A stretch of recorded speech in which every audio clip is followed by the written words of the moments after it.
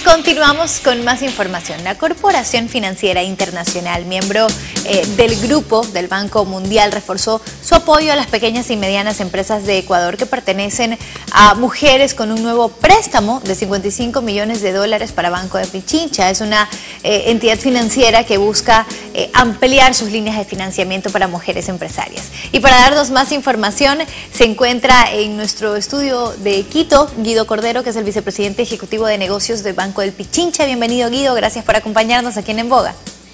Ah, hola María Antonieta, muchas gracias por, por permitirme compartir con ustedes en Boga sobre este financiamiento que tenemos para las empresas lideradas por mujeres. Claro que sí, Guido, el placer es nuestro de tenerlo por acá. Es que el préstamo eh, está conformado, para que nuestros amigos televidentes eh, lo sepan, por 20 millones de la Corporación Financiera Internacional y 15 millones del Fondo de Deuda para Mujeres Empresarias. Es un fondo de inversión privada gestionada por el International Finance Corporation. Eh, son estos 20 millones restantes los que fueron aportados por Finance in Motion. Es una empresa de inversiones de Alemania. Ahora, ¿cuál es la proyección general de la ayuda para estas mujeres empresarias?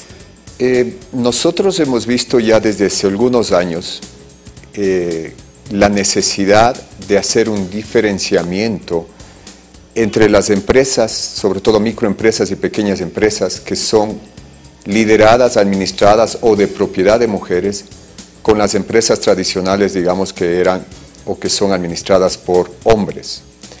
Las características son muy diferentes a pesar de que no parezcan y la intención de este préstamo es catalizar y poder entregar a estas empresas facilidades para permitirles crecimiento. ¿Cuál es el objetivo, Guido, de este mecanismo puesto en marcha en el 2014 y que es primero de su tipo? El objetivo es reconocer la capacidad que tienen las mujeres de administrar y de crear valor. Nosotros tenemos programas de microfinanzas en donde las mujeres, casi de un programa, casi el 80% son mujeres y efectivamente la experiencia que hemos tenido ha sido extraordinaria.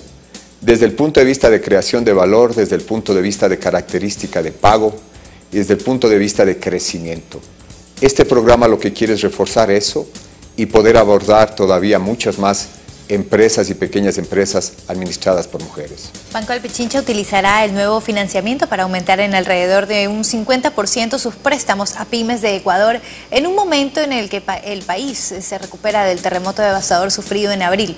¿Cuál es el trámite que deben eh, hacer las mujeres empresarias para poder acceder a este beneficio? Nosotros tenemos dos programas. A través de Banco Pichincha dentro del segmento de lo que se llama PES, pequeñas empresarias y pequeñas, y pequeñas empresas lideradas por, por, mujeres. Tenemos ejecutivos que están listos a, atender a las, a, las, a las, empresarias o a las, o a las empresas. Eh, nuestro objetivo es conocer la labor que estas empresas están haciendo y entender las necesidades de financiamiento que ellas tengan. Ahora, lo importante de este programa con IFC es que podemos dar préstamos a largo plazo, no solo capital de trabajo a corto plazo, sino lo, bueno de este financiamiento es que nos permite dar largo plazo y por lo tanto construir capital y construir estructura en estas pequeñas empresas. ¿Cuál es la ventaja de invertir en pymes de mujeres? Tanto la microempresa como la pequeña empresa son la base de este país son el sustento de este país. Eh, Banco Pichincha tiene un compromiso muy grande desde hace mucho tiempo en, este segmento, seguir invirtiendo en, en, empresas y en pequeñas empresas. Y si estas son lideradas por mujeres, lo que estamos apostando es a mejor desarrollo, mayor empleo y mejores clientes. Con eh, estudios realizados eh, por la base de datos de AFC y también McKinsey sobre el déficit del financiamiento empresarial, casi un 37% de los pymes formales pertenece a mujeres. De ese grupo, el 71% son empresas subatendidas o desatendidas. Se estima que la eficiencia de crédito en las pymes formales de propiedad de mujeres en Ecuador asciende a los 3 mil millones por año. Efectivamente, efectivamente, la banca tradicionalmente se ha concentrado en dar préstamos a empresas, digamos, más formales o pequeñas empresas formales y no ha dado atención a, pequeñas empresas o microempresas informales y tampoco ha dado atención a que éstas hayan sido administradas o sean administradas por mujeres.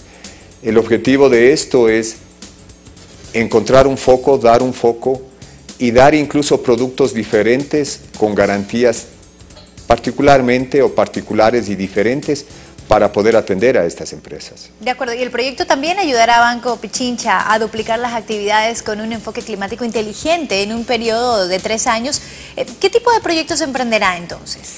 A ver, en el tema, en el tema climático nosotros venimos ya los últimos cuatro o cinco años muy claramente comprometidos con el medio ambiente y lo que queremos es eh, fomentar productos que apoyen a la prevención de daño al medio ambiente o cualquier tema que sea por daño climático. Ejemplos tenemos, por ejemplo, en el tema de, de Manabí, en la costa, hay una cantidad de, negocios que sufren por, por temas medioambientales.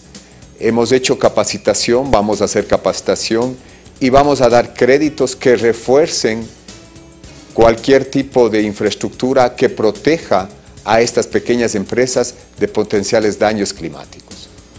Yo le quiero agradecer muchísimo, Guido, por, por acompañarnos el día de hoy, por eh, comentarnos un poco más de esta oportunidad que tendrán eh, las mujeres, las microempresarias. En todo caso, la información pues estará en esta entrevista para que la puedan ver nuestros amigos televidentes nuevamente. Gracias por su compañía. Encantado, María Antonieta. Como les comentaba, amigos televidentes, Ingresen a www.telerama.es porque en esta página web ustedes van a poder encontrar todo lo que necesitan saber. Ingresan a la sección en boga, podrán chequear nuestras notas, no solo eso, absolutamente todo lo que sale en este programa. Pueden seguirnos también en Twitter, en arroba en boga y también en Instagram en en boga empresarial.